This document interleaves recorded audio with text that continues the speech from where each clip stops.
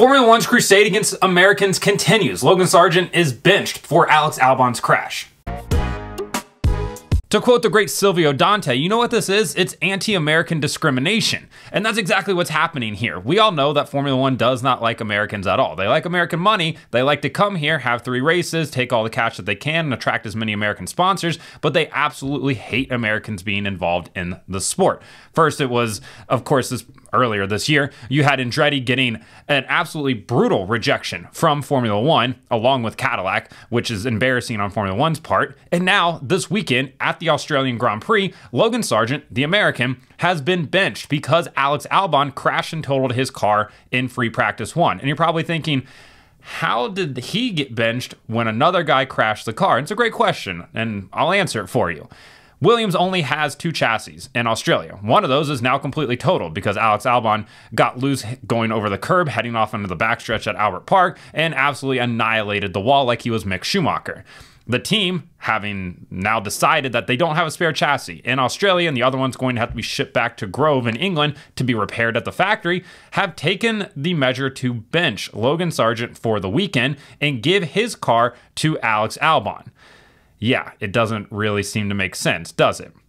Now, when you look at it from Williams' standpoint, they're doing this because they think that Albon gives them the best chance to score points. And I can't argue with that. Last year, Alex Albon scored 27 points. Logan Sargeant scored exactly one point. So you can see where they're coming from. But at the same time, these two drivers aren't racing for a championship. If they were, I'd be like, yeah, give Albon the car then because that makes the most sense.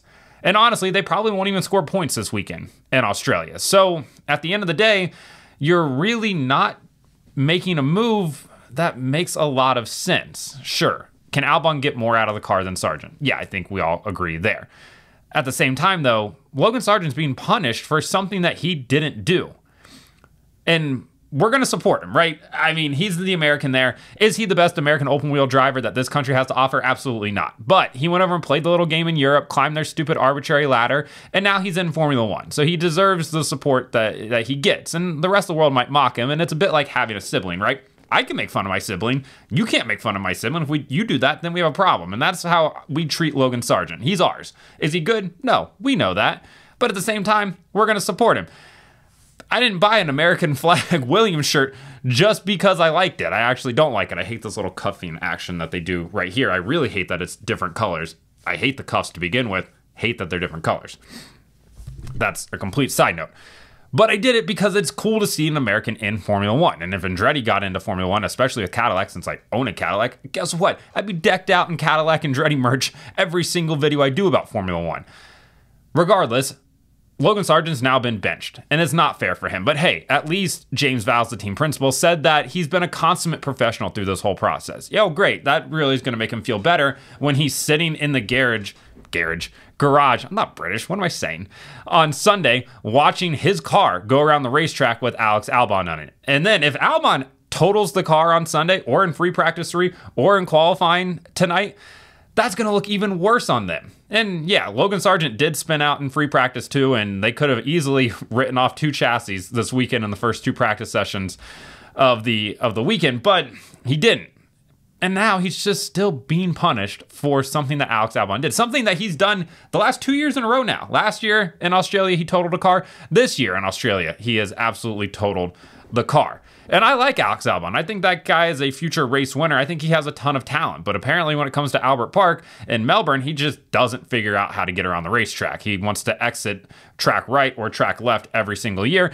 Potentially even both exits at the same time. He'll bounce off one and smack the other one and absolutely destroy the car.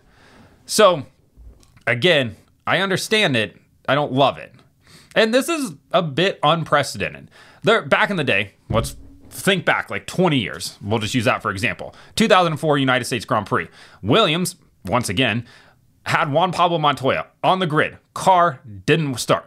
Couldn't get it to go. So Montoya hops out of the car. He sprints down the pit lane at Indianapolis, runs into the garage because they have a third car sitting there ready to go. And that used to be the norm in Formula One. Teams would bring three cars each weekend, and the spare car would be set up generally to whoever is leading the points, whoever's the number one driver in the team, in case anything went wrong. And like it did there.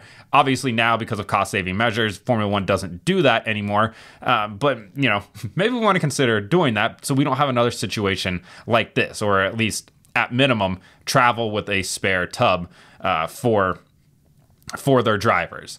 It's embarrassing for Williams and doesn't really come at a great week for them because just this week they talked about how when James got there, uh, Williams was basically managing their Formula One part list through a 20,000 cell Excel spreadsheet, which honestly, 20,000 parts being managed through there isn't the craziest thing, I've ever heard. Is it the best system for it? Absolutely not. And I'm sure all the other Formula Formula One teams were looking at that, going, "Oh my god, dude, there are other other systems to be able to track all of this." Essentially, they were just building an F1 car using Excel in a roundabout way, or at least keeping track of it. So they kind of got clowned on this week for that, and now they make this decision, which isn't going to be a popular one. Again, people love Alex Albon, but when it comes down to it, he's being rewarded for his mistake again for the second year in a row. So let me know in the comments what you think about this move. Like and subscribe to the channel. Follow me on TikTok at BrakeHard, Instagram and Twitter at BrakeHardBlog.